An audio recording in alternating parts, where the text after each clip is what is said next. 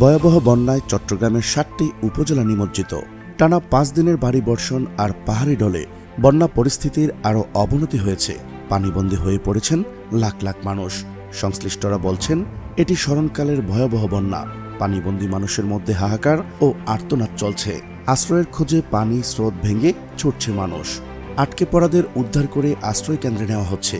যেখানে শুকনো ও উঁচু জায়গা পাওয়া যাচ্ছে, সেখানেই আশ্রয় নিচ্ছে মানুষ। চট্টগ্রামে ভারী বর্ষণ ও পাহাড়ি ডল কতটা তাণ্ডব চালাচ্ছে তা জানাব আজকের এই ভিডিওতে। চলুন শুরু করা যাক। টানা তিন দিন মাঝারি থেকে ভারী ধরনের বৃষ্টিপাত অব্যাহত আছে চট্টগ্রামে। আবহাওয়া অফিস বলছে, চট্টগ্রামে এবার গত ৩০ বছরের মধ্যে রেকর্ড পরিমাণ বৃষ্টিপাত হয়েছে। চট্টগ্রামের পনেরোটি উপজেলার মধ্যে দক্ষিণের সাতকানিয়া, বাঁশখালী, পটিয়া ও আনোয়ারা এবং উত্তরে রাউজান, রাঙ্গুনিয়া, সীতাকুণ্ড, মিরসরাই, হাটহাজারি ও ফটিকছড়ি পানিতে তলিয়ে যাওয়া এলাকার পরিমাণ বেশি। অন্যদিকে মাতামুহুরির ঢলে তলিয়ে গেছে চকরিয়ার নিম্নাঞ্চল। অনেক বাড়িতে তিন থেকে আট ফুট পর্যন্ত পানি। পানিতে সাঁতরে খাবার আনতে যাওয়া, কলাগাছ দিয়ে ভেলা বানানো এবং কোনো মতে এই কঠিন সময়টা পার করাই এখানকার মানুষের নিয়তি। এক কথায় বলতে গেলে, অতীতের সব রেকর্ড ভেঙে গেছে এবারের বন্যায়। টানা বৃষ্টির ফলে পাহাড়ি ডল নেমে আসায় শঙ্খ নদীর পানি বিপদসীমার উপর দিয়ে প্রবাহিত হচ্ছে। ফলে প্রত্যেকটি গ্রামীণ সড়কের উপর দিয়ে দ্রুত বেগে বন্যার পানি প্রবাহিত হচ্ছে। চন্দনাইশ ও দুহাজারি পৌরসভার নিম্নাঞ্চলও প্লাবিত হয়ে পড়েছে। উপজেলার নিম্নাঞ্চল সমূহের বিস্তীর্ণ বর্ষাকালীন সবজি ক্ষেত আউশদানের বীজতলা পানিতে ডুবে যাওয়ায় অপূরণীয় ক্ষতির সম্মুখীন হয়েছেন চট্টগ্রামের কৃষকরা।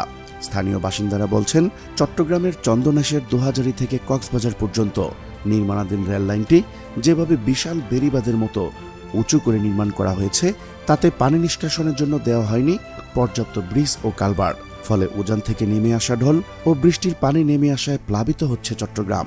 চট্টগ্রামের চন্দনাশ উপজেলায় সবচেয়ে বেশি মাছ চাষ হয়ে থাকে, যেখানে পুকুর রয়েছে চার হাজার দুইশোটি। এ পর্যন্ত দেড় হাজারের মতো পুকুর ডুবে সমস্ত মাছ ভেসে গেছে।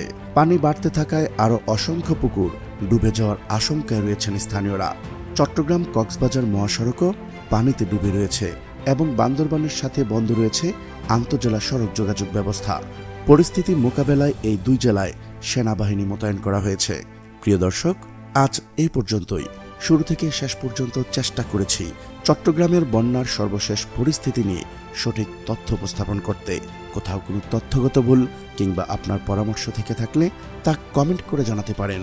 নিশ্চয়ই আবার দেখা হবে নতুন কোনো বিষয় নিয়ে। ততদিন পর্যন্ত ভালো থাকুন, সুস্থ থাকুন। আল্লাহ হাফেজ।